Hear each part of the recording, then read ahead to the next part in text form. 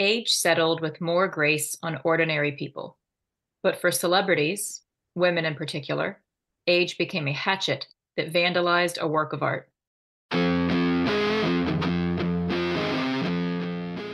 Hello, I'm Rebecca Capone. And I'm Kennedy Weibel.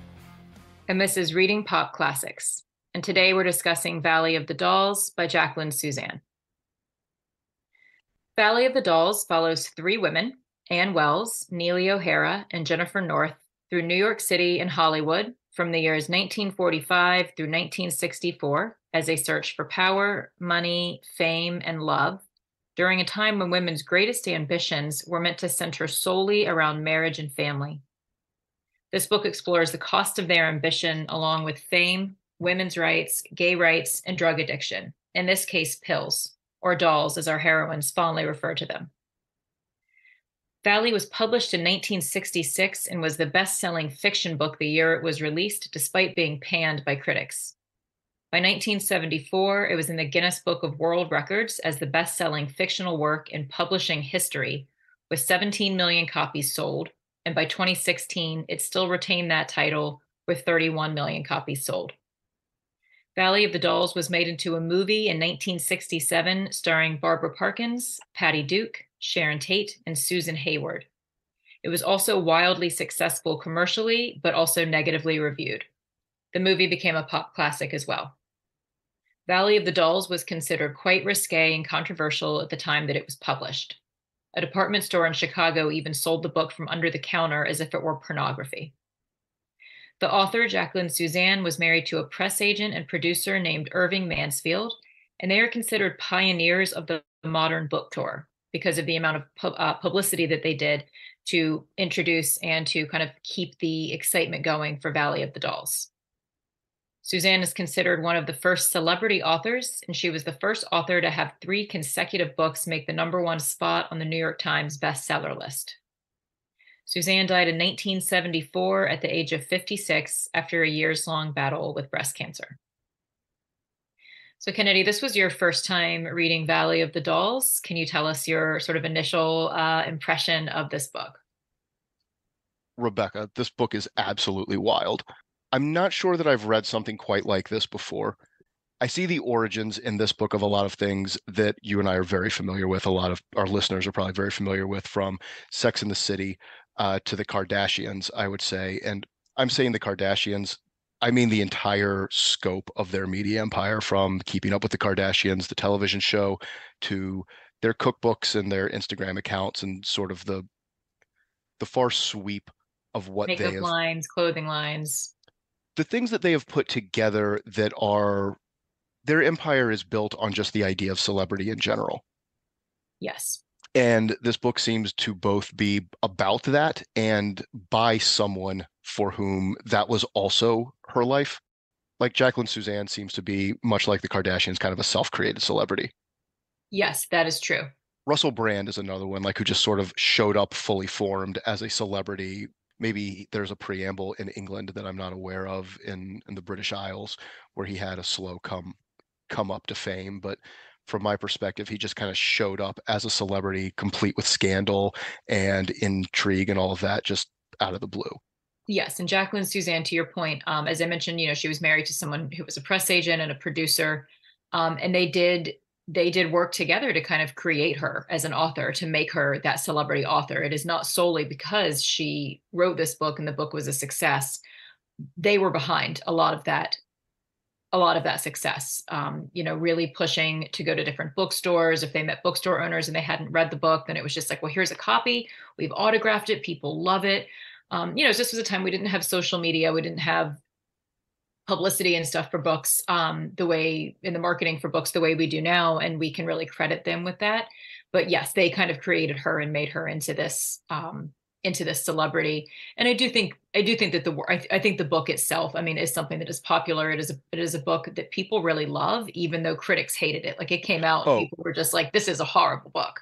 It is a horrible book, it, and I do not mean that as a dig. I enjoyed reading it a lot. I had a lot of fun reading it. It is not literature. This it is, not is literature. this is entertainment. Um, I think I'm I'm paraphrasing, even though I I'm paraphrasing something someone else probably said about this. But it's just like reading a book length page six from the New York Post. Like it's just a celebrity gossip column that goes on for nearly 500 pages. Except Yeah, the celebrities aren't real people; they're not actual celebrities that you're the aware of. are the characters are loosely based on celebrities from the time. So we see, um, you know, Judy Garland, Marilyn Monroe, and some, you know, and some of these characters, and she doesn't pretend that that is not the case. But I, I mean, they're also not biographies of those women by any stretch of the imagination either. I mean, they're they are very loosely based, very loosely based on on women that were famous at the time and that were sort of being put through this ringer um, that we that we see our girls going through in Valley of the Dolls. Kennedy, do you think that this book passes the Bechdel test? It does, but despite the fact that all the main characters are women and lots of the side characters are women, it's still close.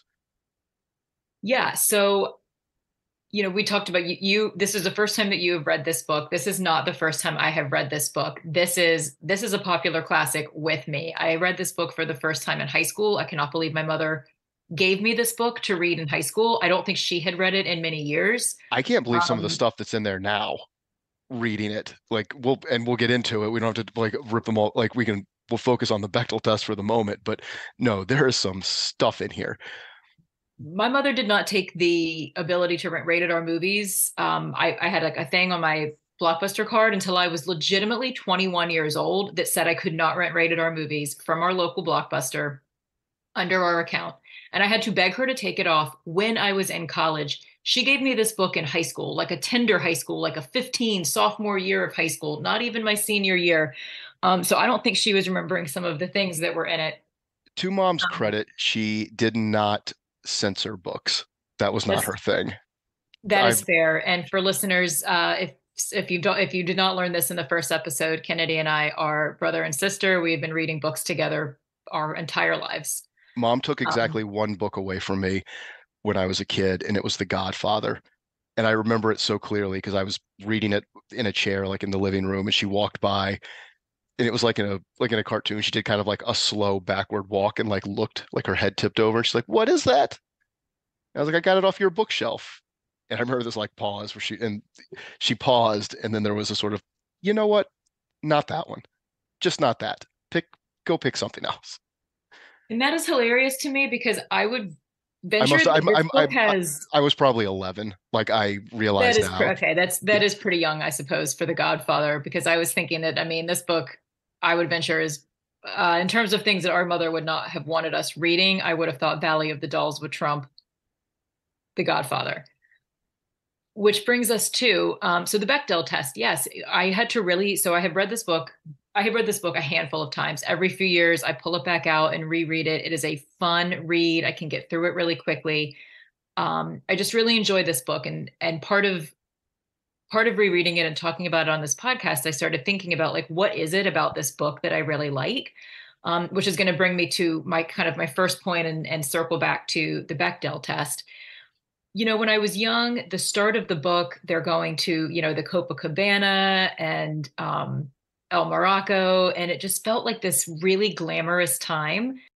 You know, back back in the 40s in New York, when when women dressed up and you went out to these these fancy places, and it just seemed really glamorous to me.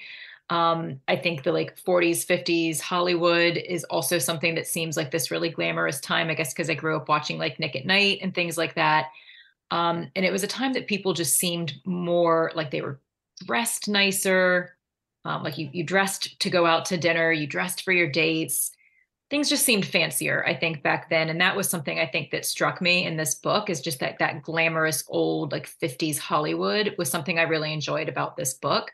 When They're I not was in Hollywood, though. We should be clear. They are in New York City. they are in New York City. Um, they do venture to Hollywood, but it does mostly take place in New York City. And that is it, like it, it has the celebrity feel of of old entertainment more so than Hollywood specifically. Just to not to Yes, nitpick, but that's a better way to say it. So that I think is something that appealed to me when I was young. I think I also just like couldn't believe I was allowed to read this book. Sex and the City redid this perfectly in the 90s for America at large when it showed these women dressing up in outfits that were wildly expensive and mm-hmm. going out for was it appletinis Cosmos. Cosmos, going out for Cosmos at all of these places around New York. It's it did it did this same thing this intro does, and what a lot of the book does, which is them going out like name dropping places. Sex in the City did that fit like did a great job of recreating that in a television medium uh, in the 90s through its initial run up to that first movie. And then I hear the wheels kind of came off the wagon for the second movie. I'm not really the target audience for Sex in the City, but I. the second movie, it was terrible. The first movie was mediocre. Um, but I, as I was reading the book this time, I was actually drawing. There are a lot of parallels with Sex in the City, so I do think Darren Star um, is a fan of Valley of the Dolls. He is very clearly he's very clearly been through this book. He has read this book and enjoys this book. And it was a lot of inspiration, I think, for Sex in the City. That is not something I know to be true. I just am the target audience for Sex in the City. I am the target audience, I think, for Valley of the Dolls. And there are so many parallels. Um, I think, I mean, the big one is the women, the careers are important to the women in Sex in the City. For one, they are looking for, um, they are looking for not fame, but they are looking for success. They are looking for money. They are driven by their careers um, and the relationship between Carrie and Mr. Big, I think, parallels Anne and Lyon really well, right? That she's con- she's continuously, you know, yeah. with this man who does who does not want her, but sort of does, right? Or, or wants her in his terms. Let's talk about Anne. Anne has the dumbest problems. Her first problem is that the guy she's dating, even though she doesn't really like, but she doesn't know anyone else, so she's letting him take her out, turns out to be the wealthiest man in all of New York. That's her first problem. Her second problem is she doesn't like Lawrenceville in Connecticut, where she's from, or no, Massachusetts. I'm sorry. She doesn't like Lawrenceville in Massachusetts, which, when we go back there in the book, turns out to be an unbelievably charming town that the man she loves would be happy to settle down with her in. But she's like, absolutely not. This place is awful. And she, it turns out she's like wealthy and lives in a nice house and grew up in I don't know middle class digs. Uh, her other problem is that somebody wants her to be a model. She runs into that problem and she doesn't really feel like it, but fine. Look, she has the stupidest problems. So I did some thinking in this in this read about Anne because I felt I felt really frustrated by Anne. like, why does she hate Lawrenceville? Like, it's not explained. It's just like a teenager she just wants more that i do, that i do get i legitimately understand that she wants more she wants to go to new york city for the reasons we were just talking about this book makes new york city look great she wants more she does not want to settle down and be somebody's wife in a small town and have that be it and like that be her whole life she feels that she has led this very unexciting life her her her mother, her her forebears, right, have led this very unexciting life, and Anne simply wants more. And I can respect that. I can respect she wants to move to New York. She doesn't know what she wants to do, but she knows she wants like a cool job and she doesn't want to live in a small town and just be somebody's wife and just be somebody's mother. And that is what is being offered to her. Sure. However, but let me let me counter to say that she does not simply want that. She gets that immediately. She, she gets that, that immediately with no barriers and she overcomes nothing to get it. She doesn't simply want it. She hates Lawrenceville. She despises it for no discernible reason. She is not held back there. She is not, no one's trying to make her stay.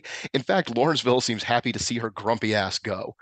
But Anne, so Anne has, right. So Anne moves to New York. She immediately gets this like sick job. Oh, right? sick job at like the most popular talent agency one of the biggest talent agencies in the whole city. Her boss loves her. Her boss thinks she's great. There's very clearly like upward mobility everywhere she goes. People are like, "You're gorgeous. Be a model. You would make a lot of money." Being Everyone keeps telling her how beautiful she is she, to her face, which is a weird thing when you're reading the book. Like just for people to keep repeating it over and over again. How like beautiful this girl is. That's that's she's told all of the time she legitimately just with no effort at all shows up at a restaurant one day and some guy's like you know what? You're so beautiful. I want to make you famous. And he does. She already has a ton of money right by this point. There is one thing in the world that this girl can't have and it's this idiot Lyon Burke. And she throws everything away and it's her constant problem she's down at the mouth the entire book over this one this one guy who just like like and I get it. I get that Lyon Burke is like hot, I get that Lyon Burke has this like magnetic thing, and this is just what she wants. But I truly believe, and like, because I, I, had to look at it, just like, girl, I hate you in this book. Like, I'm so angry at her. You have all this stuff. All your friends want, all your two best friends in the world want is money, some a sense of security, right? From money. That's that's more what we should say. A sense of security, a sense of freedom from money, which Anne has. Anne is not reliant on a man and has money and does not have to stay in Lawrenceville and does not have to get married for any nope. form of financial security. And she's willing to just be like, to kind of just throw everything away for Lyon Burke. Like for this. She also throws away Lyon Burke one time. She doesn't just want Lyon Burke. She wants Lyon Burke in Manhattan. In yes. In Manhattan. Because Lyon Burke agrees early on in the novel to settle down with her in Lawrenceville because he wants to be a writer and she's like no i'd rather i'd rather like no i can't do that. And then he like their relationship is bizarre from from jump from the time they get together. When they do finally get together in connecticut they sit down to have a drink. Massachusetts. Uh, no are they in uh no lawrenceville's in massachusetts lawrenceville's in massachusetts i'm sorry when they finally get together in connecticut in new haven when they mm-hmm. go up mm-hmm. for the trial runs of the broadway show that helen lawson is in and that neely is in and that anne and lyon's agency is representing the stars of they are down in the hotel bar and they have this conversation where he's like, "What are you fighting for, Anne?" And she's like, "I'm, I, am i am finally fighting for something." And he's like, "You are finally fighting for something." And she's like, "Well, what are you fighting for, Lyon?" And he's like, "You." And she's like, "You don't have to fight." Neither. I'm not sure what they're. The dialogue doesn't mean anything. Neither of them are fighting for anything. They changed clothes in their rooms. They came down to this bar. They had exactly one drink, and then they have this conversation that is tied to nothing that has previously happened like there is no point where they couldn't have each other and they're fighting for that's 100% true. There is no right. Anne's not fighting for anything this whole this whole book this whole book. No. I, I, guess again, except for lyon and it sounds like i'm ripping on it. I did really enjoy this but this is a book where if you've taken any kind of writing class and they're like show don't tell. Show don't tell. Show don't tell. This book just tells everything. Like every mm-hmm. like statements are the facts of the narrative. Like they just say Anne and Lyon were mad for each other, crazy for each other. There is zero evidence of that on the page. Uh, Neely was a true artist.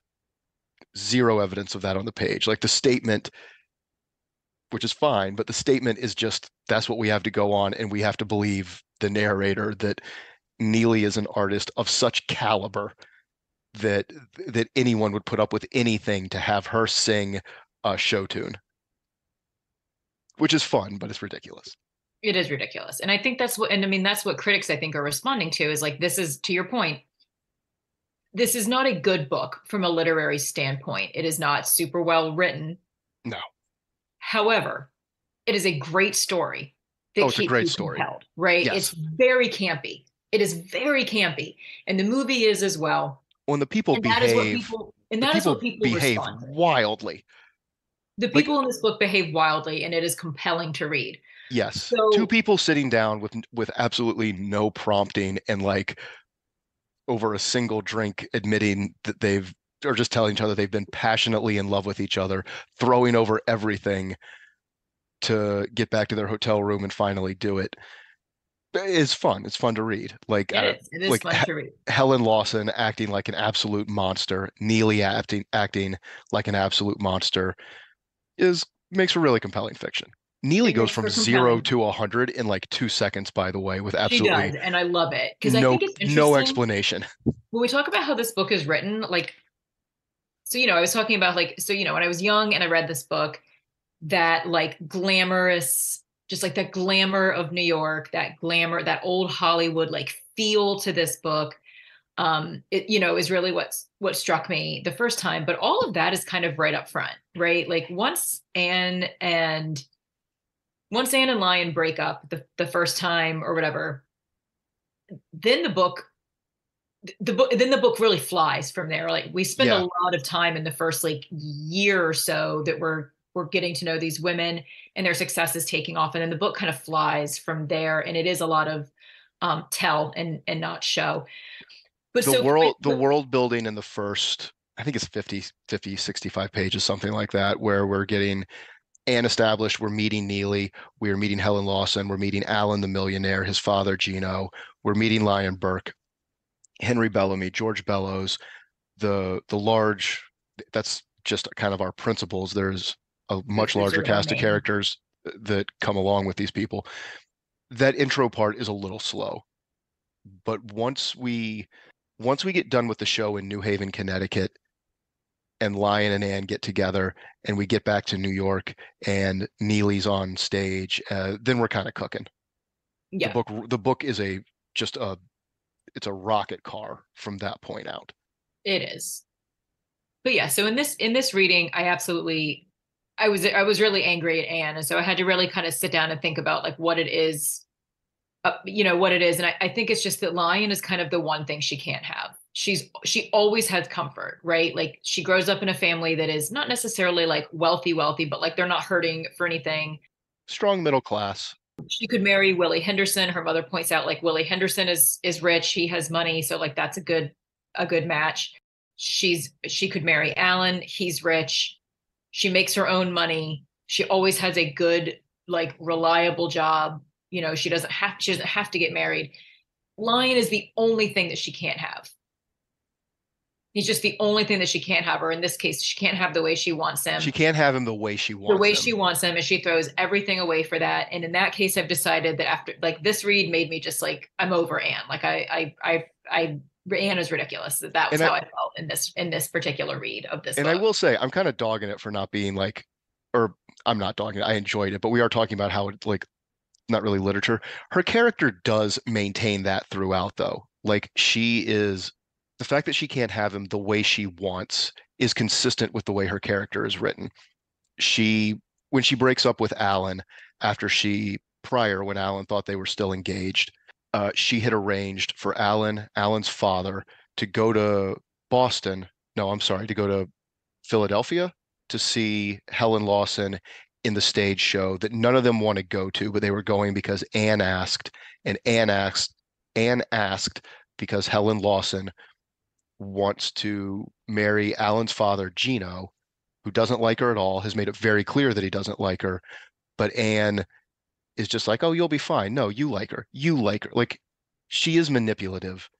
And when she breaks up with Alan, he gets all mad on the phone. She asks if Gino can still go to Philadelphia. Yeah, after he does it and he starts to hang up on her, she's like, wait, wait, one more thing. And he's like, yes. And she's like, you're still going to Philly, right? She genuinely thinks that's a normal thing to ask and that he might still be going with his father to set her father, set his father up with this woman he is verbally told everyone he does not like.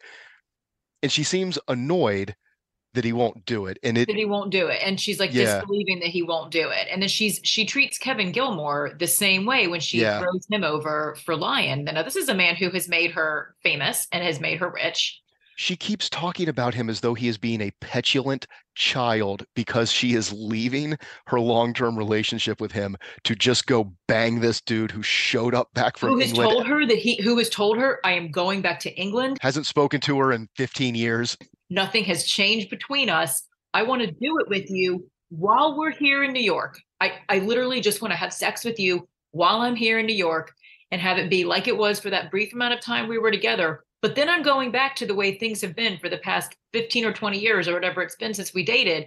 And she comes to Kevin of like, listen, I'm going to go do this. And if you're around when I come back, cool. And Kevin shows her the door. And I for one, felt I really felt for both Alan and Kevin in this oh, yeah. this like Alan had it Alan had it coming. Yo, man, you are horrible. Like the balls on this woman, yeah. honestly. Alan kind of had it coming. She treats these two men is is pretty horrible. And um, I mean, men do some pretty horrible things in this book, but Anne Yes, um, they do. They really do. But Anne She also has the nerve to talk about Kevin because Kevin's upset, obviously. And when he gets upset, she's like, he's just a child. He doesn't understand.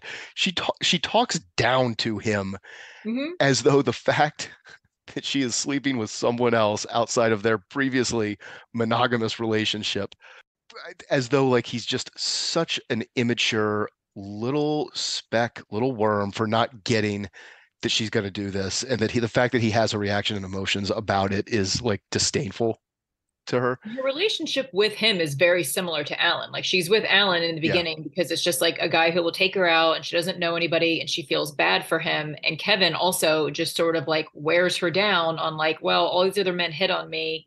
All I want is Lyon and I can't have it. I guess I'll just date this guy because he's nice until Lyon comes back around and she throws him over just like she does to Alan. And I think that, you know, and yes, like she's just so egregious about the way that she ends the relationship with these men.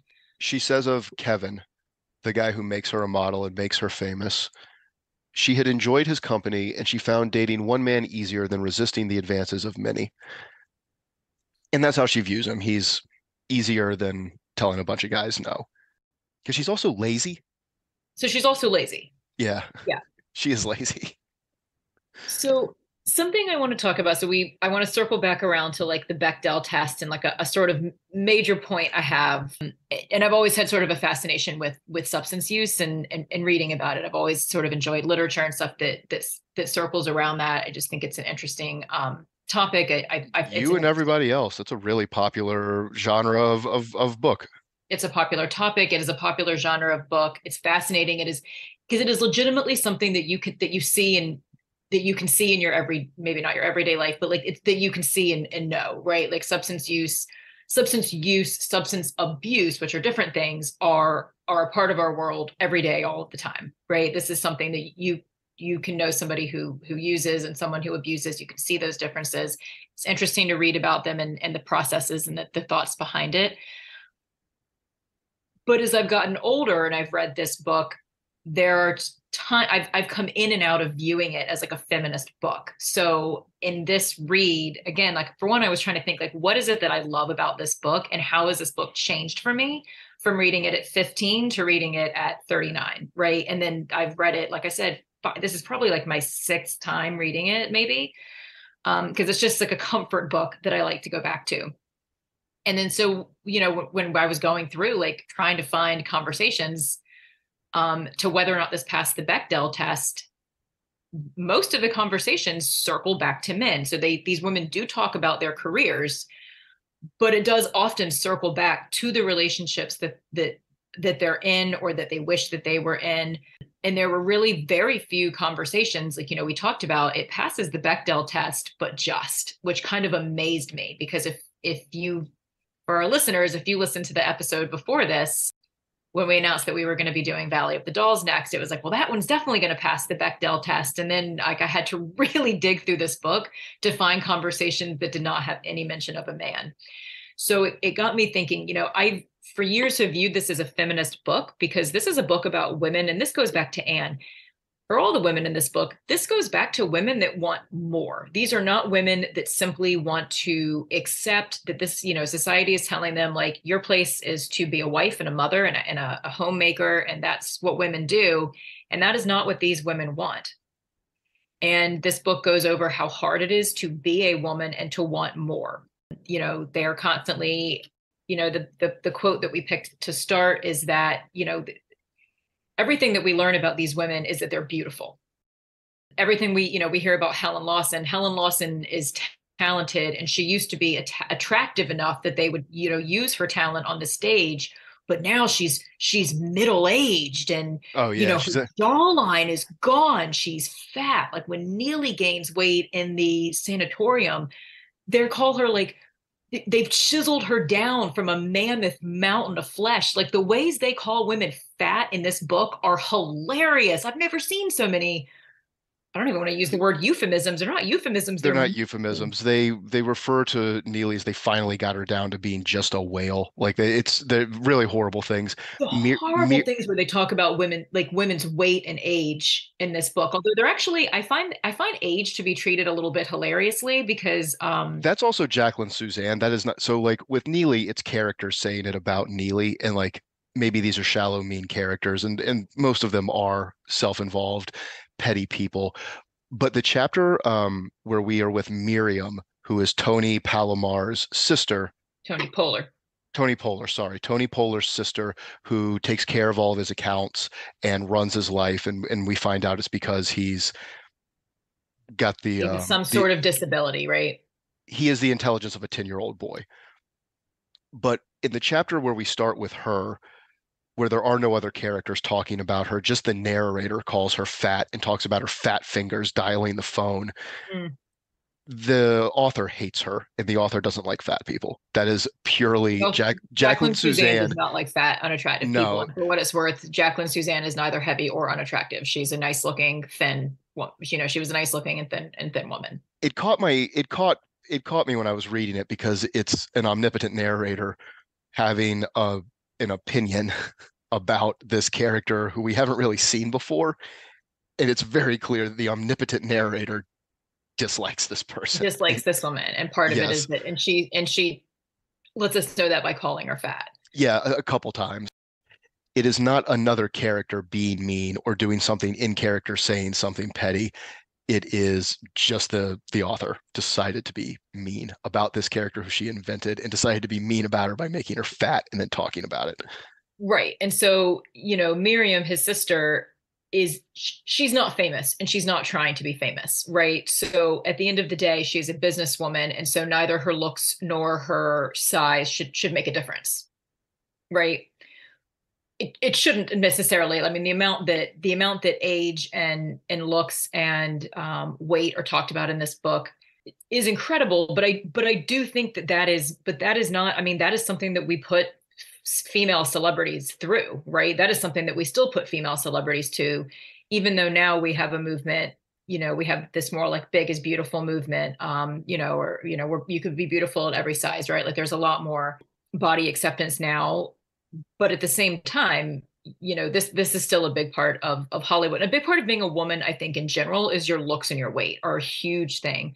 So i did in, so initially so initially you know i had viewed it as like a feminist book right? These these are women that, that dare to want more. And then we are seeing we we are we see how it's it's more challenging for women right to to get to the top to achieve success and and fame and that kind of thing and so from that you know from that stance um it is a feminist book. We have the, the characters in the book have have an have an abortion right? You know they actually exercises her right to abortion in the book you know so some of these things we can see is very feminist.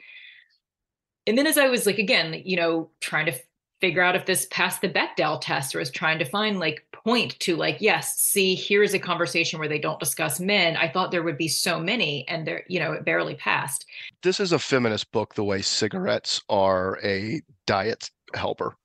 Like it might do yes. that. That's not what it's for. Like the that's way not what it's for. Viagra might save a marriage but that's not what the pill was invented for retin-a, retin-a might get rid of your wrinkles but that it's an off-label use. This book is a this book is this book's feminism is off label in my opinion and it it exists because the book dares to be about women. But it dares to be about women and it dares to pull no punches and to have them like you say they just very matter of factly have abortions. One character i think has something like 12 yes she has, yes, she does. She mentions at some point that she she has the one that we that we're that's discussed more, right? Tony Polar's baby after Miriam talks about why she doesn't want her to go through with the pregnancy. She, she, she drops some other number very casually later in the book where she's like, I've had 17. I can get pregnant really easily. I get pregnant all the time. Right. It did pull back the curtain, so to speak, for me on on the feminism of the book. For one, for women, for one, they're they're punished they're punished for their ambition, every single one of them, whether they deserve it or not. Jennifer is the one that I felt was punished and the one I felt bad for. Neely is a monster. Neely is a monster. And I, again, I just don't feel like Anne has any ambition. Anne wanted to just sit and be a secretary in New York, and she just kind of falls ass backwards into money, power, uh, fame, men, like her relationships, her child. Like she just kind of lands on all these things without much effort at all. She does. But some so some other things I think that make this not Anne, Anne is punished, I guess. And Anne is punished. And I mean Anne Jennifer is definitely punished. And that's that's the one that feels Jennifer is absolutely punished. And she's the one that it feels the least you feel the worst for Jennifer.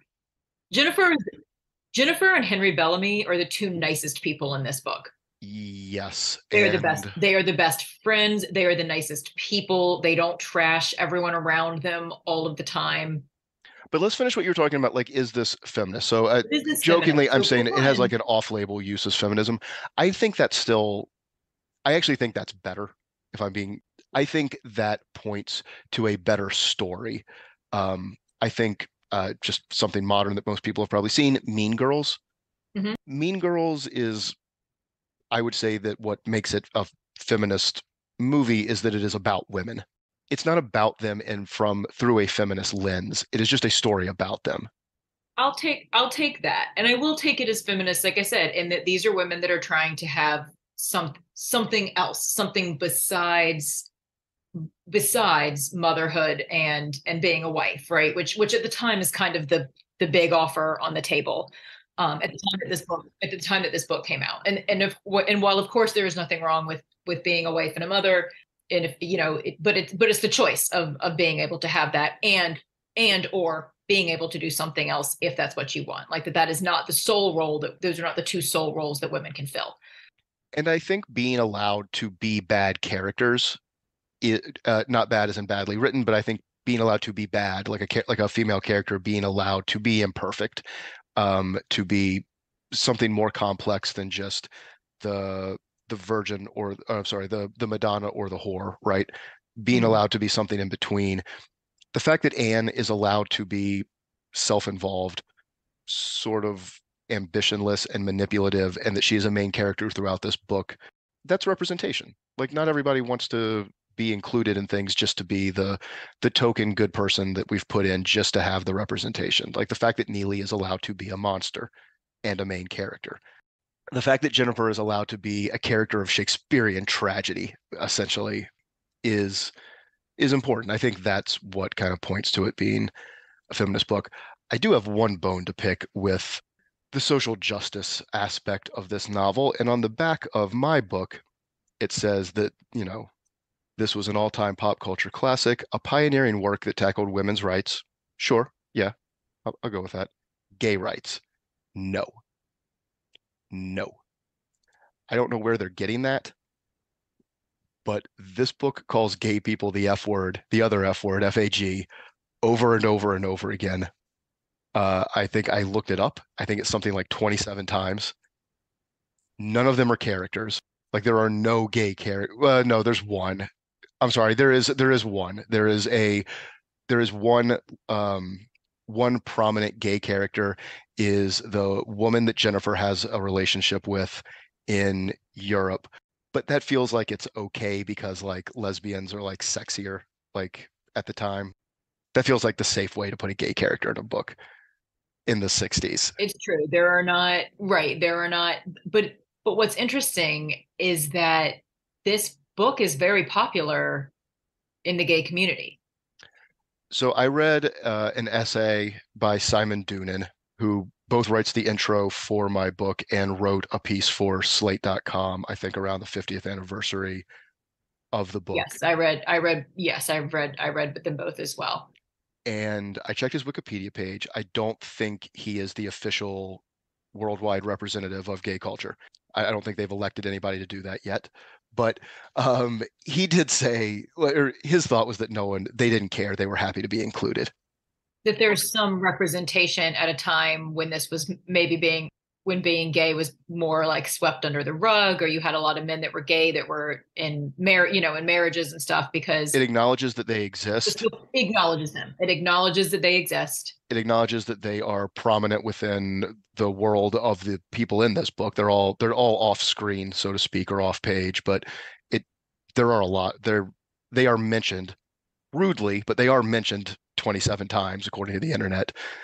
But is but this does have a big gay cult following it does and especially the movie No, I can see. I, I'm surprised Ryan Murphy hasn't made a miniseries out of this. Like I'm baffled that like this feels very much in the sort of because I, I do think somebody tried somebody did try to make a movie uh, excuse me a tv show out of this at some point it was um, briefly a TV show, and there was Oh, it also a was. s- It was briefly a TV show. Yeah. Yeah, and I don't think it. I, I think it didn't do well. there was also a sequel to the years ago. movie written by Robert uh, Ebert, co-written by Robert Ebert, the film critic, called Beyond the Valley of the Dolls, that is uh, a schlock classic. Like it's a there's a second there is a second book as well and i, I want to say it was maybe like started by jacqueline Susann and finished posthumously or something and i did read it some years ago and it was terrible it does not have the magic um, of this book so some other things just some other you know some other non-feminist things i guess is that we do see that our, our heroines rely on men for emotional stability and happiness right like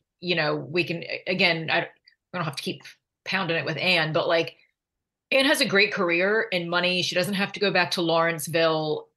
And she's, you know, Lyon is the only thing that will truly bring her happiness.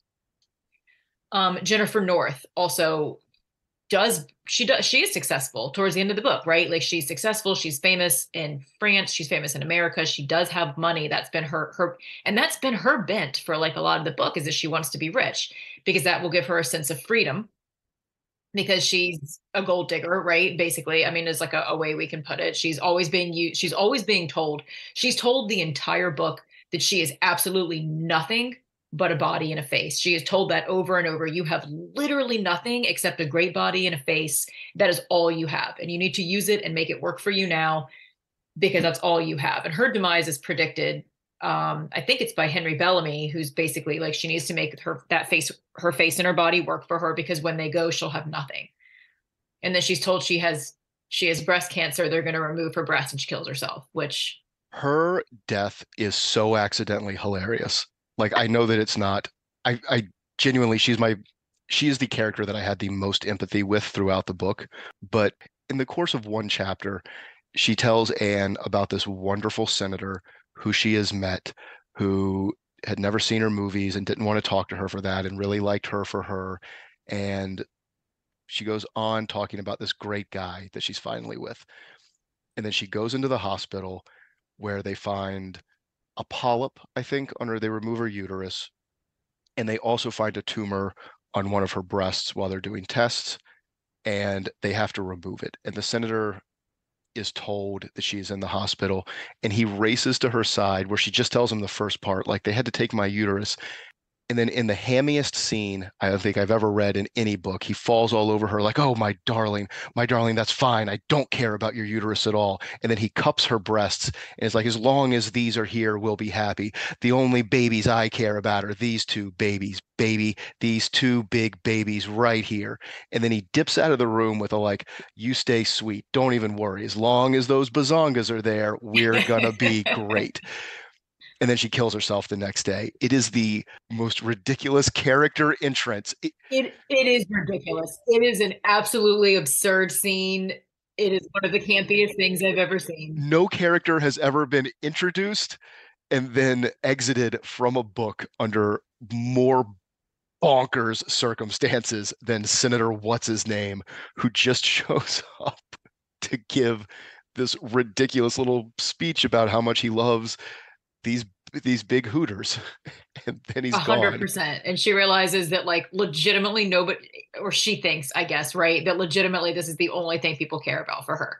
And she is told that over and over again the entire book and then he essentially comes in to be like i mean i do love you but mostly i love your giant hooters and if they were to go you would have nothing. And it's so such a it, and, and I, it's I, horrible. No and i feel genuinely horrible for jennifer the poor I, I feel terrible for her while it's happening while i'm reading it but it is the most it is the silliest character in like introduction and then exeunt that i think i've ever read and then he's gone and she kills herself um which is sad because she was the one who was like throughout the book she didn't say anything mean about anybody else.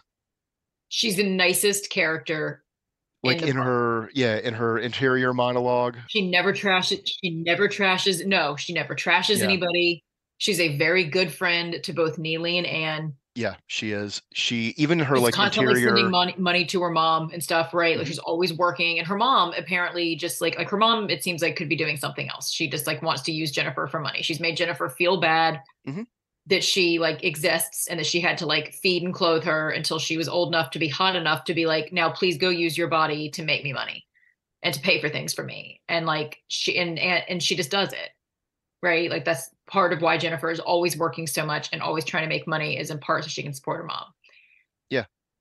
Right and, and, and she dies under the under the fact that like I'm only loved for my body, and now that's about to go, and I have legitimately nothing left, and that is horrible. And you know, again, I kind of just pointing to her character or the depth of the character in this, pointing to the depth of her character in this sort of salacious novel, though. She doesn't have anything mean to say about anyone except herself throughout the book, she refers to herself as being talentless and not really good for much several times. She is the only person she offers an ill word about throughout oh, the book. That's interesting. Yeah, and then and then when the senator doesn't it when it turns out she's wrong yet again about like where someone finds her value, yeah. Um she kills herself and and I would gotta say, what surprised me also about that scene was that there was still like 200 pages to go. Yes, this it is it is a long book, but I have to say I was compelled for all of it. I wouldn't go through and take out parts of this book.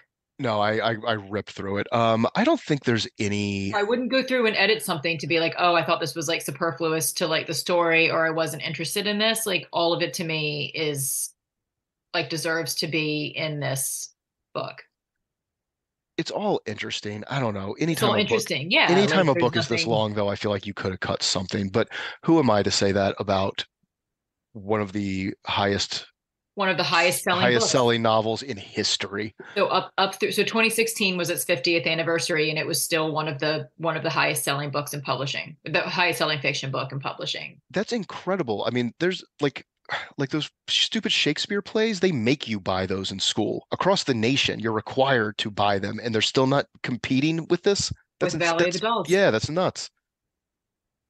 So something okay. So again, our, our heroines like they're relying on men for like emotional stability and and and their happiness. Um, I I kind of feel that they are punished for their ambition a, a little bit. I mean, I think that's that's part of it.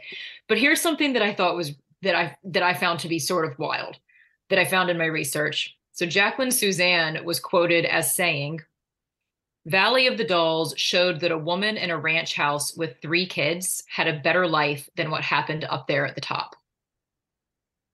Yeah, I'll give her that. Yeah. Making this kind of a cautionary tale, which brings me to which brings me to something that I was sort of struck by in reading in reading this book or again like in in in peeling back like this this was a deeper read for me for this book right like that's been the difference i think in this read um and then for my other years of reading this is like you know sometimes i'll finish like a more intense like literary book and it's like mm, i think i deserve a little treat and i'm going to reread valley of the dolls right like I want this little like anti-literary treat, I guess. And so in this, it's like, you know, like I'm looking at this of like, why do I like this? Why do other people like this? Why is this book so popular?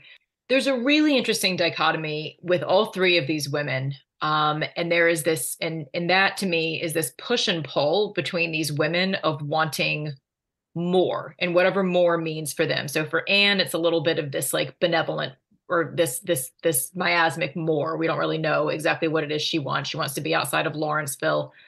Um, but she has everything and she still wants more, right? But this wanting of more. So, you know, for Jennifer, it's it's money and like some sort of sense of like security and freedom. Um, for Neely, it's all those things. It's a career, it's fame, it's adoration, it's it's money, it's security. So they want this more. They want this this this other thing that women aren't really being offered or not offered easily at this time but then they do also want this like traditional like love family and children but what i think is interesting about it is like it's not this drive. There is this drive for for like romantic love i suppose in all three of them. They do mention it a lot. That is something all three of them want. But the family aspect to me they don't want to be mothers. No. They want children in this way that's like maybe a thing that they're supposed to want or it's like the children will give them like the love that they are not receiving on, on in, in anywhere else right? Like they're you know they're either not receiving it from the public they're not receiving it from their chosen men. Um neely is basically an orphan right? Like she was in foster systems and stuff until her sister takes her in.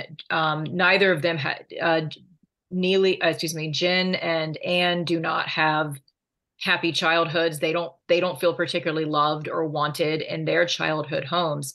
So there is just like this push and pull, right, of this like traditional like family and sense of love with wanting more, but they don't want to be mothers. They want children in this very like other aspect that I don't fully grasp. It's it's like it's to replace something that they don't have, and I think that that that that is just something I read in this book that, that I read in this read that I thought was really interesting. They also don't. The book doesn't talk about it a ton. Like it, it's not um, of the things they don't want. It's not high on the list.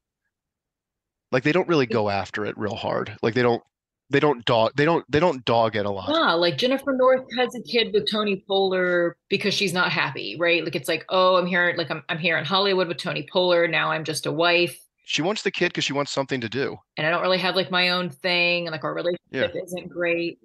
She wants something yeah. to do. She wants yeah. something to she says it. She wants something to love and that will love her.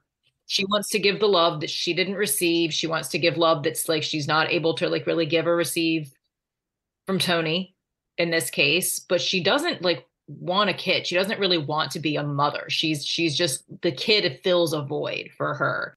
Neely has kids because like the studio wants her to because it's like a nice picture for her to be married to Ted Casablanca, this other famous guy in Hollywood, and for them to have children. It just gives he raises them like America this pretty little picture of like, oh, she's this sweet girl. She's married to this like nice famous man she has yeah. these kids because she's supposed to and then he raises them right like she doesn't really have anything to do with them she doesn't she it doesn't appear that she, she doesn't live and breathe for them the way we we see in mothers that we hear mothers are are supposed to feel about their children. And Anne just wants Anne knows that she doesn't really have Lyon and she wants a kid because it would be yeah. It would be lyon right? It gives her a part of him that can't be taken away from her that can't be changed and that will give her what she thinks unconditional love and that she can love unconditionally because lyon has all sorts of conditions in their in their love and their relationship but none of their ambition for for love and marriage in the traditional sense is is in the traditional sense right? Like they don't want to be mothers. They don't want to be housewives but they do want that that that bigger picture or or whatever. They do want that picture or something like in their brain. Did anyone want to be a housewife and a mother? I feel like now you and I talking about this in 2024, mama culture is like such a thing. In the 40s where this begins and the 60s where it ends, did people It's just an assumption that that, that this is yeah. what women do. Like I I honestly think it's been I think it's honestly been in the past. But like parent culture wasn't what it is now, where it was like, oh my God, I have to like shower this thing with love and I have to make sure that it goes to baseball and it does all this stuff. Like, wasn't parenting in wasn't parenting in general just sort of a like, look, you gotta No, I don't think so. This is the like children this is children are seen and not heard kind of. Yeah, that's I it's so funny because I thought about that expression like uh, some months ago that like you don't hear that anymore and we and I mean we weren't, you know, we were raised in the 80s and I don't I remember that being a little bit of like a jokish thing that you said about kids, but it wasn't necessarily how kids were viewed. And it wasn't until I was older that I understood that like that did used to be the thing. Like like yes, parent culture I think wasn't quite so like oh you like live and die for your children and everything that you do and think should be, you know, based around your children or whatever. Like I think people loved their kids, but you but you had children for a purpose of usefulness. Like someone needs to work on this farm and kids are a good way to get those people. Well, yes, and then there also was just like the fam the family values and the family ideas. Someone needs to carry yeah, on the like family there's like the name. family values and the family ideals and like the 50s, right? Of just like right. this is this is what a family is. This is like you your life track is that you you know, men go to college, women women maybe go to college so that you can find a man or you wait for graduate from college or whatever. Even that i think is new though. That's that is in our lifetimes. Like i think you in get, you get married and you have children and that is what life is. And then your children have children and you're a grandparent and then you die and your family continues on. And those were just the choices for people. I don't think that anybody was looking at this as like a choice of like do i want to have children is this a thing that like I want to do? Do I want to have them so badly? I think it's just what came next. and i think it's been in the last like 20 or 30 Yeah. years like you know our our generations like are having less children and as somebody who is choosing not to have children part of it is just like i understand that it is a choice and that i don't have to do this and i don't particularly have the yearning to be a mother or to, or to, to have children it's, it's not something i've ever wanted to do and i know in this day and age that that is a choice i have. But this is a conversation that comes up with with women that are older than me and i see that it's like i see this like bafflement that i can just choose that like of like but why? Like there must be a reason like you can't have children. It's like i assume that i could have children. I'm choosing to not have them. I think this book takes place in an in an era where for the first time in in America anyway, in the United States where this takes place, for the first time modern life had caught up to a point where you did not need to have children. Like this these are the first people who have hit a point where like there's not really I don't need to do this. I think prior to that in the late 1800s, again, someone has to run this farm right and 20 and you know we're having 10 because seven are going to die of yellow fever or whatever obscure disease just swept across the prairies back then taking out half the population. I think in the early 1900s there was still like someone's got to like take over this cracker factory that i've built and it was just you had kids because you needed more people to be around to do things. I think this book takes place in that first the the point where modern ennui first becomes like an actual thing where modern conveniences and modern lifestyles and urban living and suburban living brought us to a point where like women had the kids they looked around this beautiful home and they're like why do i what i don't this is right do i do i have to be doing like do we have to be doing this? What am i supposed to be doing? This is kind of a drag. Yeah do i have to do this? I don't you just right. I don't really have a farm to put this kid on he's just around the house all the time. Um yeah like i i just i found that to be a really interesting dichotomy that like there's this this want of more with this one of like but do i want the traditional thing? But then like i said is like i was reading this of like these women don't want to be mothers. They want children for various reasons but i but i do not feel that their want of having of of wanting to have children it's not Yeah. a prominent thing in the book. It's not something they're super pushing for it's it, there there are other reasons but i do not think that these are characters that want to be mothers in in at least particularly not in the way that we look at mothers to your point and th- today or in the past you know in our lifetime as it were do you think the author of this book jacqueline susann likes her characters we know that she doesn't like miriam any of them. I know she doesn't like Miriam. We've established that. But she does she like any of the others? I feel like you made the point that she was like this book shows that like um a housewife with three kids in the suburbs has a better life than these people at the top.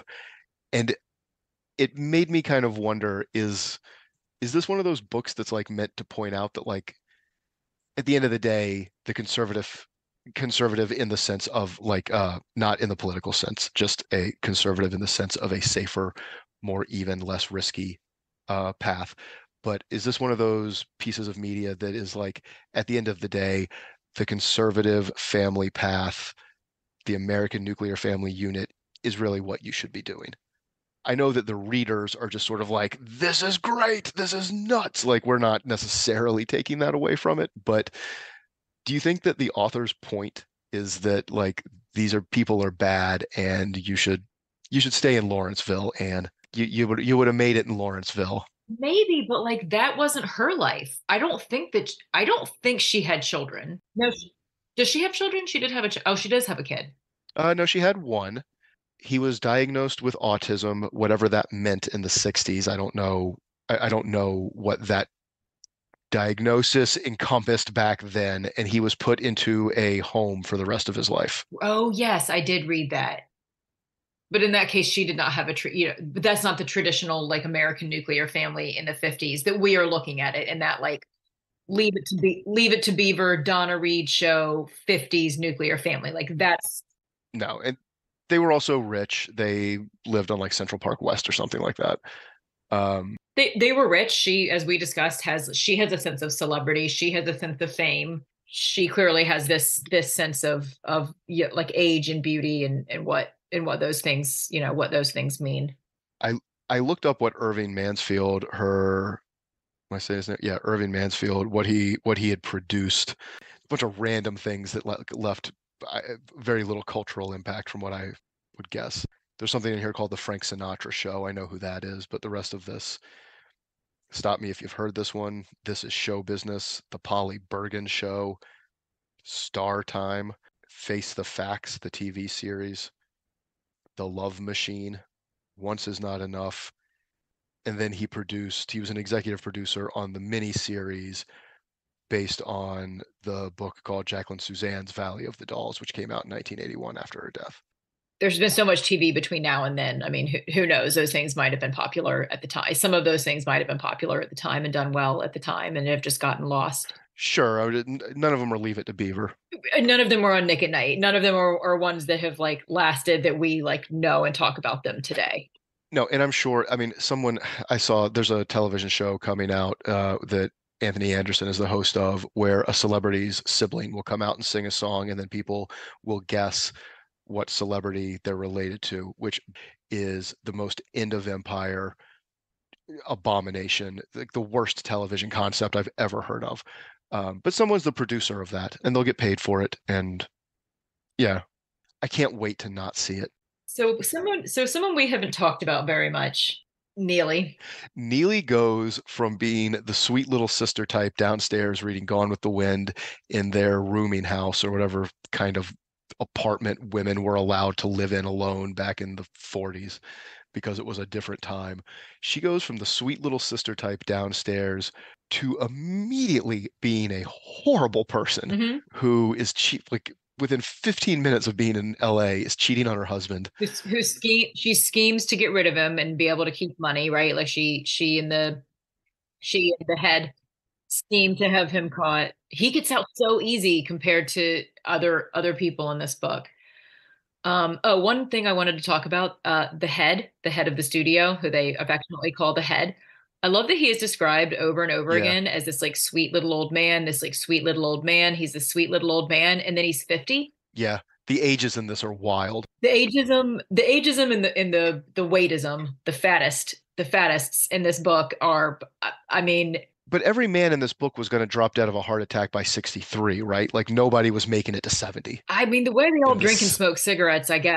Yeah. That's the thing. Um, like like 50s. I mean, the is, drinking is prevalent, like, but yeah, mostly it was just that it was like, oh, like he's like this little old man, he's this little old man, and then it's like something something, and he's 50 years old, and I was like, that's even at this time. I mean, that's still kind of like still kind of middle age. Like Henry Bellamy's like 50 when we meet him, and he's not described as this like little man, right? And he's probably I Oh, I guess that's... um I want to say I made age I made note of his age. I don't remember what it was, but I mean he's he's 50 probably when this book when this book starts, right? Or maybe he's in his like maybe he's in his like mid 40s, but he is like an adult established man who has built this business for years, yeah. you know, for years and stuff. Like he's not um he's not a young man as it were and and, and lyon is 30 when this book starts so lyon is so lyon is around 50 when this book ends and he yeah. is not and, and he is still a man who can just like bring anne down into the proverbial valley of the dolls right like he finally like gets anne to start taking the dolls uh because he's so horrible kidults didn't exist yet when this book came out like anne is what she's 20 when she's when the book starts She's 20.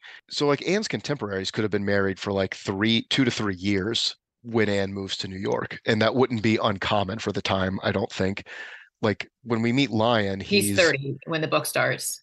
He probably did a five year tour in Eastern Europe. Yeah, right. No, he's been away for like, like some years in the war. Like he's he's ha- he's gone to school, had a job, left that job, and fought a world war, and then come back by the time she's 30. 20. Like, Neely is 17. Yeah. And Jen is 25 because she has that stint in Europe, right? And she's old, right? So she's so worried about her age at 25. Like our friends didn't like our friend we have friends who had still never lived without roommates at 30. Like I think it was just a different era right. like that. A hundred percent. Like how old do you think um Pete what's that guy with the asshole eyes? I'm gonna need more than that he's on Saturday Night Live. He dated Ariana Grande. Oh, Pete Davidson. How old do you think Pete Davidson is? And like he 30 dresses like he just rolled through. He dresses like he just rolled through the kids section of Target, right? Yeah. Like just okay.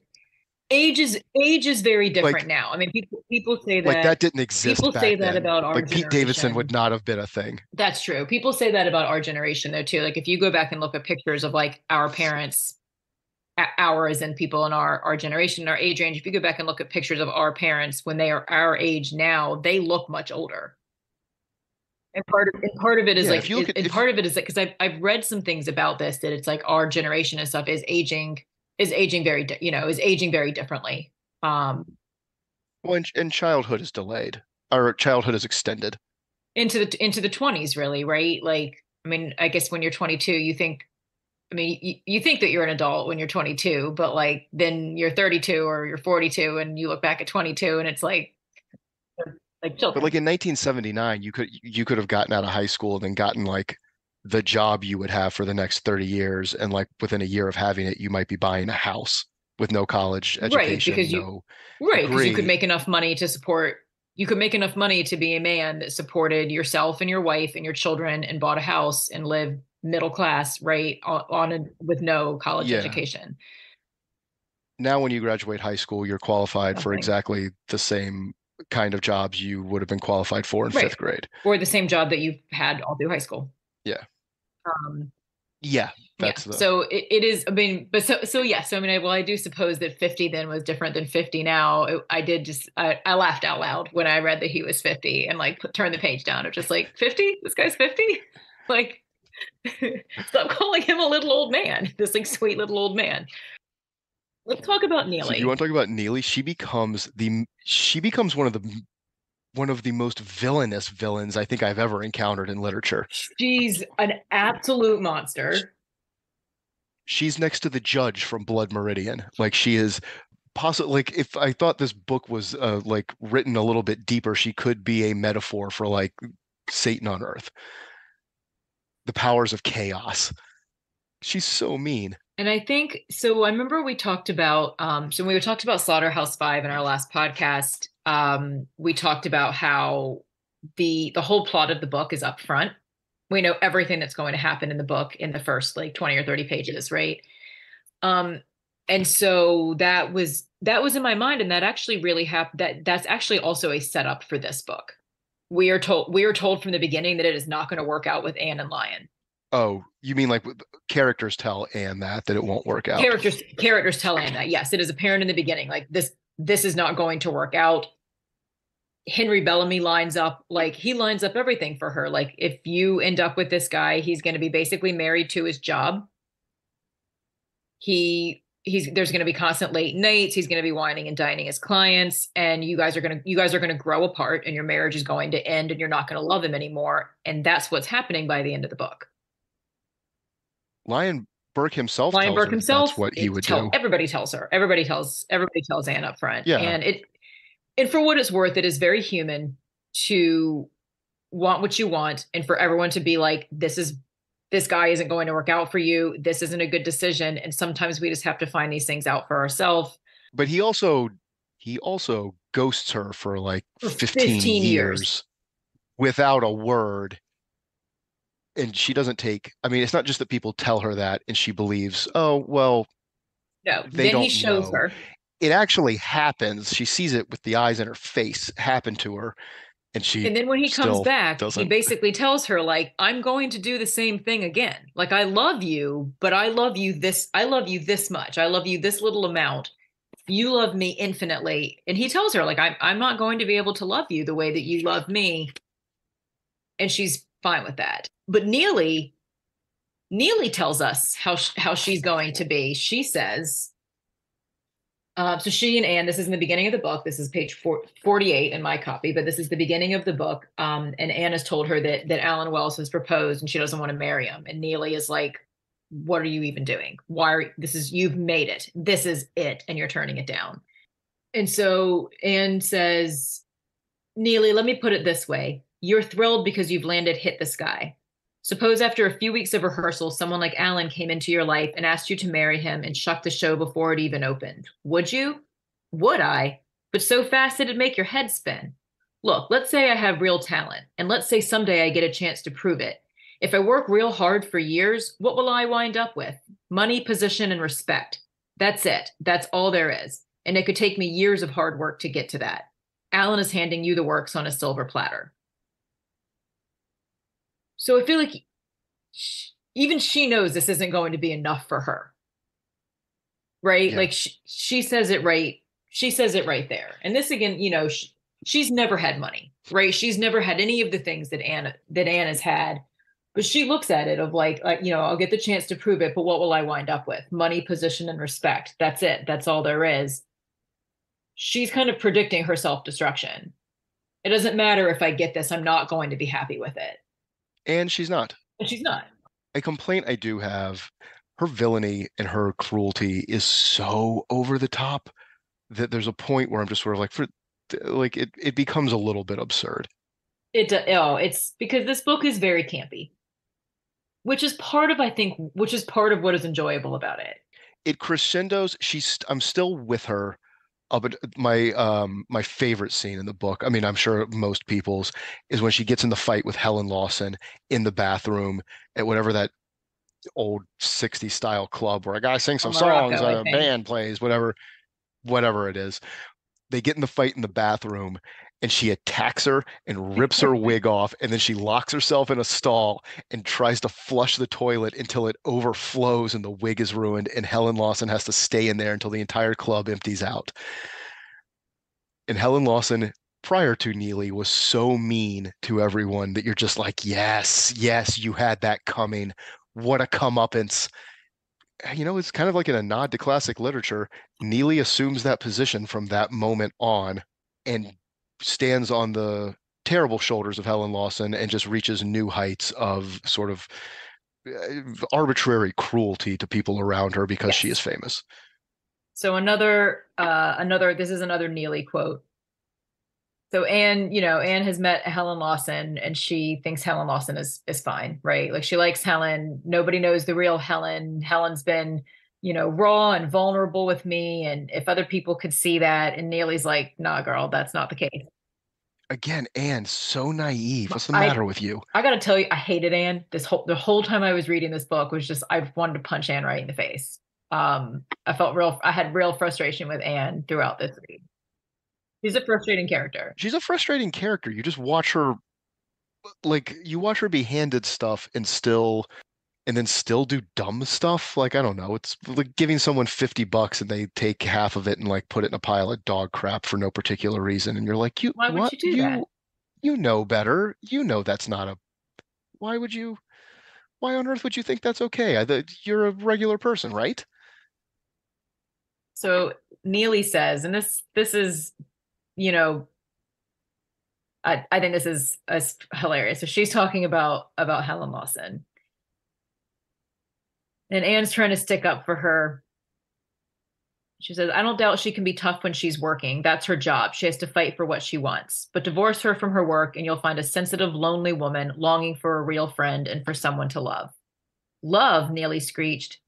And the real Helen Lawson is the monster I see at rehearsals. And it has nothing to do with being a star. She was born that way. You don't get that way why if i was ever a star i'd be so darn grateful that an audience loved me that people would pay just to see me that writers would write for me. Wow. I'd go around kissing the world. And she, no, does, she not. does, not. but i do think it's interesting that she says no. it has nothing to do with being a star. She was born that way. You don't get that way. And i feel like that's but i feel like that's neely because neely does have she has this like this selfish self-destructive tendency. And that's what we see when she's given the opportunity when she's famous, when she gets to be a star, that's what comes out, right? That she is, you know, like she says, you know, like with with the fame, when she when she gets it, and it's like that's it. I have money, I have fame, I have power and respect, but that's it. Like, you know, where where do you go from here? And for Anne, I think maybe that's maybe that's what we see in Anne, right? That Anne has Anne has all of those things. Anne always has those things. She always has respect. Everybody respects her. She's she's classy. She's reserved she's not she's not bawdy and loud like Helen Lawson or like Neely, you know, who's like a little bit unrefined. Jennifer, nobody cares about anything that comes out of Jennifer's mouth because of how she looks. So like she doesn't have respect. Anne has respect and money in the beginning. Anne has respect, money, and fame.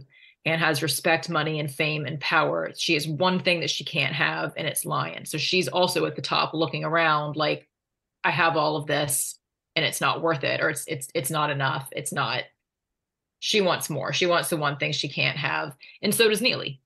What do you think about Neely's betrayal at the end? I struggled with it. I've come to terms with it. But when I first read the last, whatever it is, 20 pages, where we go through the Neely gets I think out we of see it in the beginning. institution. She slims down. She starts having an affair with Lyon, and the book ends with Lyon leaving her but having an affair with somebody else. But she has an Neely has an affair with the husband of one of her two best friends over decades. She owes Anne her fame and her career. Anne gets Yes, her into does. Hit the Sky. Anne gets her a bigger part in Hit the Sky and lets her stay Yep. at her apartment all of the time and save and saves Yes. her, right? She tries she um she accidentally overdoses in Anne's apartment and uh, her life is saved because Anne is so worried about like leaving Neely at home that she comes back and finds Neely like almost dead in her apartment and calls and calls an you know calls an ambulance. They they get her taken to you know they get her taken to a hospital that is in Bellevue, right? They pretend it's an accident even though they know it's not, so that she doesn't get submitted to a sanitarium and pays for her to go to a sanitarium when she clearly needs it. I think so. That was what I finally went back to. That I was like, that's why she's. The sanitarium. That's why she's. It's the resentment of being locked away in the funny farm, as she puts it. I think it's right like, there in the beginning when of she the book. when she was told when she was told she went in that she was going in for the sleep therapy, the sleep treatment, and then Anne left her in there for like six a months. year. I think she's in there for I like a year. that's in there for a long time.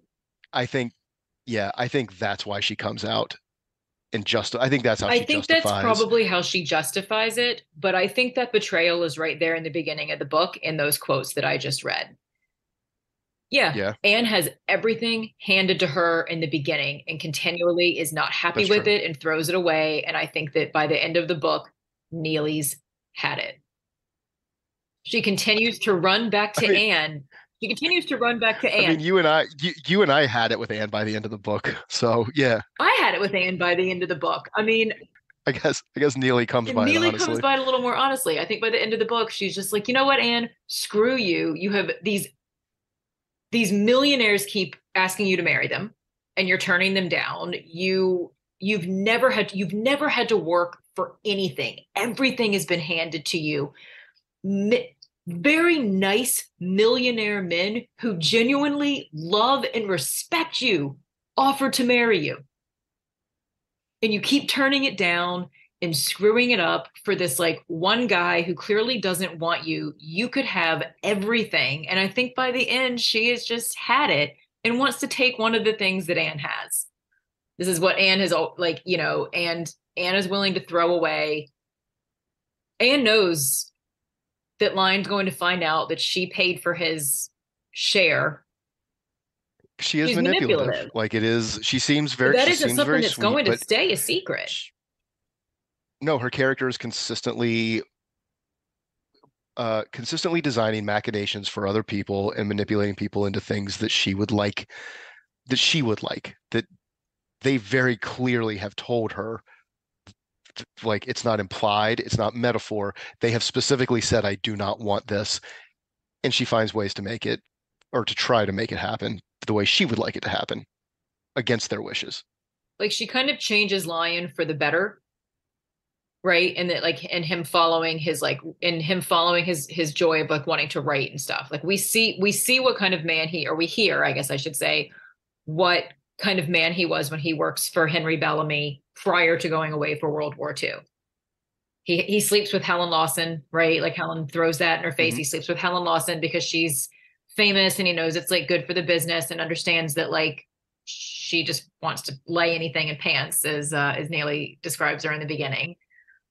So he does and like and Henry and Henry knows that and sees that and so she kind of sets Lyon on this different path of like this isn't what if this isn't what you want to be if you feel that you're changed you're a different person from the war and this isn't the, what, what you want to be then like go be the thing you want to be and he does but doesn't include her he, He tries to. he tries to he does she actually she just doesn't get every like she can have lyon She can have the writer. She can have him be the better man that he is. She just can't have it in Manhattan. And and I think coming back to sort of like, is this a feminist book? She wants what she wants. Good point.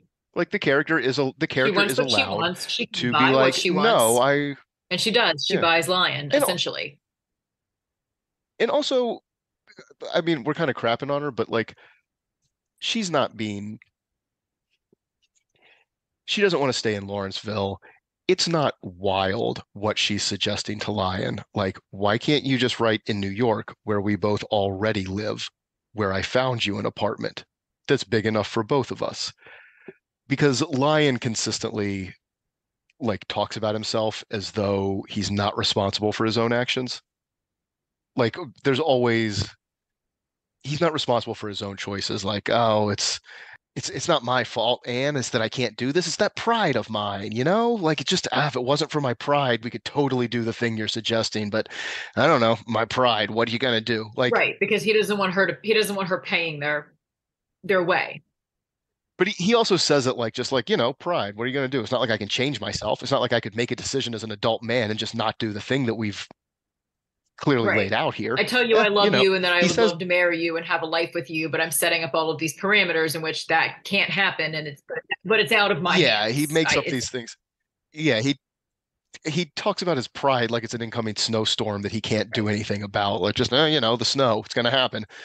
She does get the chance to have him. Her she's not being unreasonable when she's like, "I'm sorry, why can't we just go back to the apartment that we're always at anyway? I bought you a typewriter. Type your book on that in the apartment we already have in the city we both like. Just do that."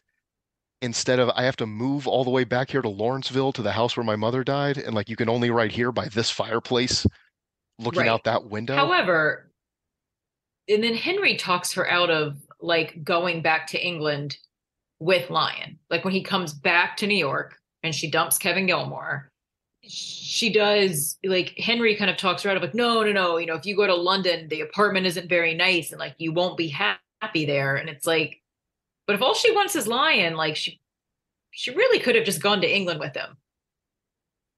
yeah, she has dumb problems.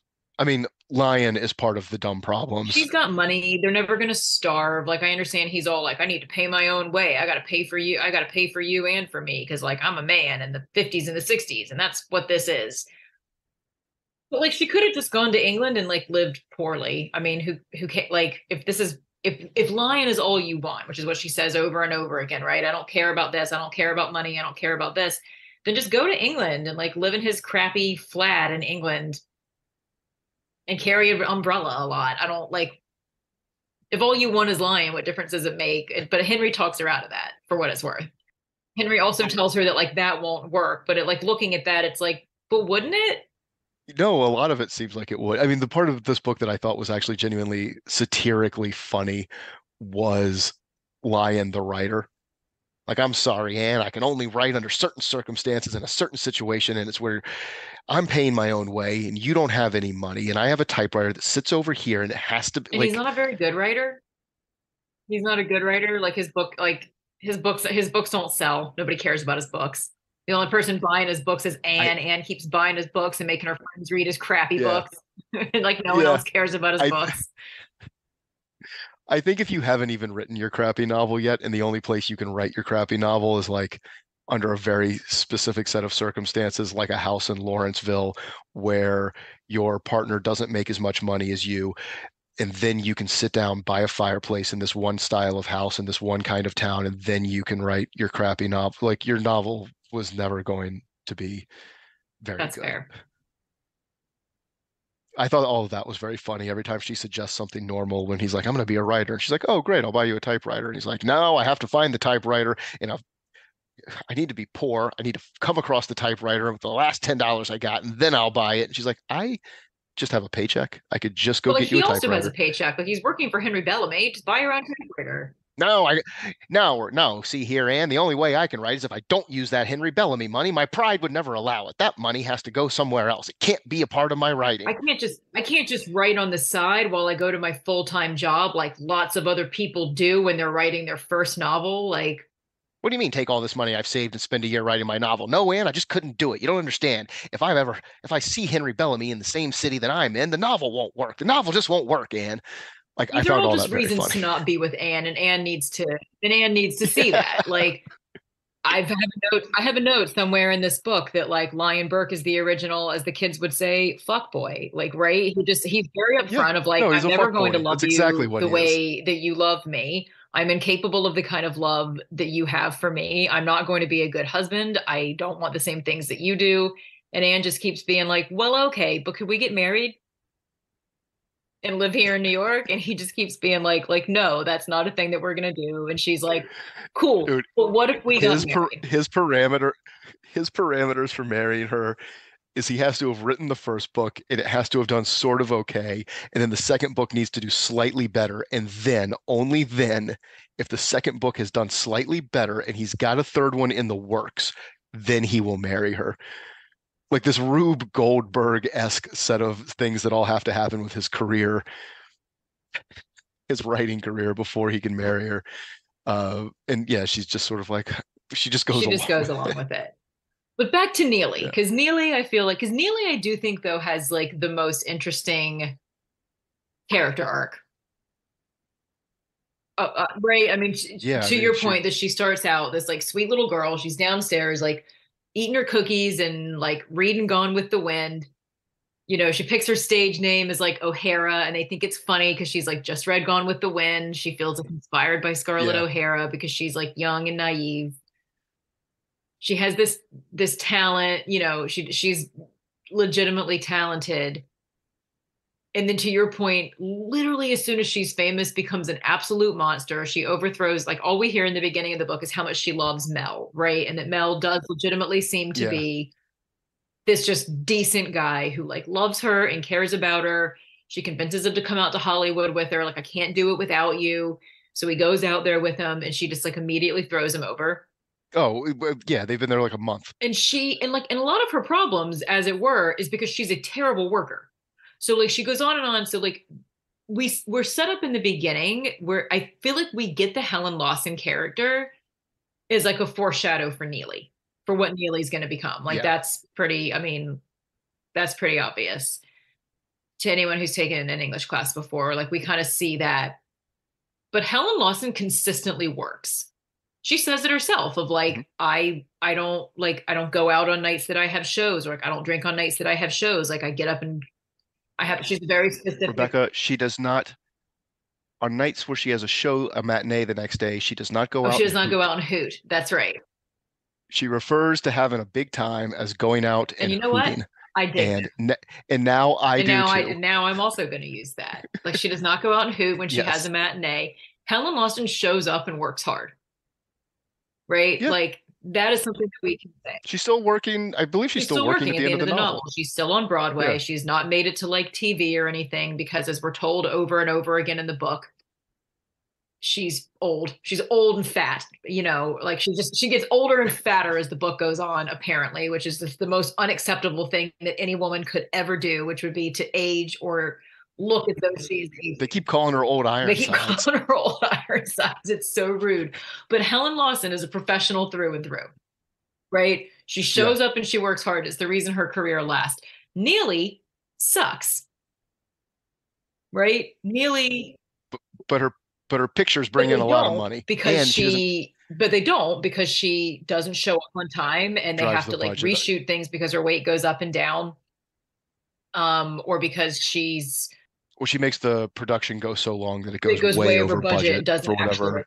Like they're they're huge successes, but like making them is such a slog with her that they end up costing more than a wild success right because she's because she's a monster. She's un, she's unprofessional. Yeah. she's not hardworking. She just is talented. She pe- people enjoy her. People enjoy whatever little like childlike sparkle that she brings to the stage and you know she's got a decent voice um but she's a horrible person and like a horrible worker right like everything that goes wrong she does bring on herself oh, everything. Yeah. I will say though, I'm not defending her. She's a monster. She's clearly meant to be a monster. She's a villain throughout the book. I think we see in the beginning of the book that she is going to be a monster. Those little seeds. You have a Neely you have a Neely hot take? This isn't a hot take. how this isn't a defense of Neely in any capacity, but something that I do something that I do think lends towards the feminism of this book is how put through the ringer these women are. Not Anne necessarily, but Jennifer and and Neely, like how everything is how everything is based on their looks, how you know how everything is based on on what they look like and on their age. She is work. I mean, she has worked really hard, right? Like there is this like they they want her. Hollywood wants her to to be presented in a certain way. So she like has this big house that she's paying for.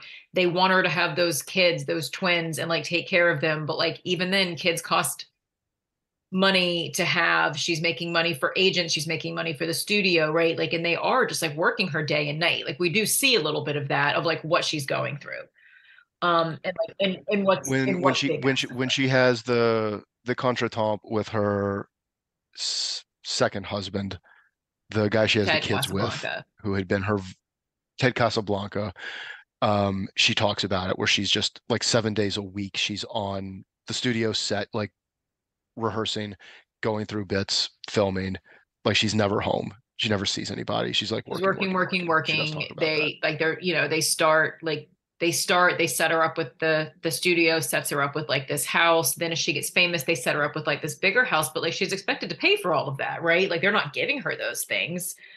Um, they're expecting her to like make to make this Yeah. money to support. You know, you support all of the people that are around you, your agents and um your your costumer and stuff, right? Like the, there's all of these people that are making money off you as a celebrity. So again, I- her behavior is off the charts. Her she is an absolute monster. Um, and she she's an absolute monster for one. We see that, and that is compounded by a pretty massive.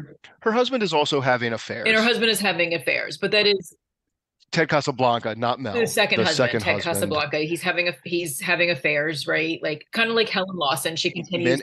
men men men and women like she is like neely is going neely is uh going through relationship drama that is not that is not solely solely based on of her. her creation Um, but so Yeah. she like she is. She's been she's being you know she's being really put through it. It is a challenging industry where she's expected to maintain like the weights in this book. Like I highlighted some of them, and I don't remember the numbers off my head now. But like, um, when she gets out to Hollywood, I want to say she's like, oh, you know, I weigh, I weigh 108 pounds. That's really little, and they want her to lose 10 pounds and be 98 pounds. And I, they go, they they say her height 108 is very thin. 108 is super thin for whatever the height is for her. And they get her started on those pills. Uh, they get her started with like the Dexedrine or whatever to um to lose weight, right? Like those pressures are there. We're consistently told how important looks and weight are throughout this entire book. And that is part of her downfall. So I think that she's a monster from the beginning. I think, like she says about Helen Lawson, like this isn't created. She was born this way and then happened to get famous, and she's a monster. And Neely is that way too.